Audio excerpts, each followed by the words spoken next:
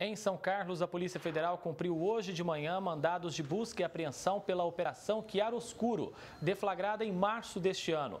Esta foi a segunda fase da ação em conjunto com a Receita Federal em combate à lavagem de dinheiro, sonegação fiscal e corrupção. De acordo com as investigações, um escritório de advocacia atuava no controle de empresas fantasmas. As fraudes resultaram em pelo menos 80 milhões de reais sonegados.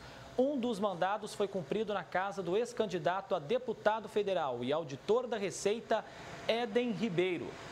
Por telefone, o auditor da Receita, Éden Ribeiro, afirmou que não tem participação no esquema e que acredita que o nome dele aparece no processo por conta de um amigo que seria alvo nessa operação.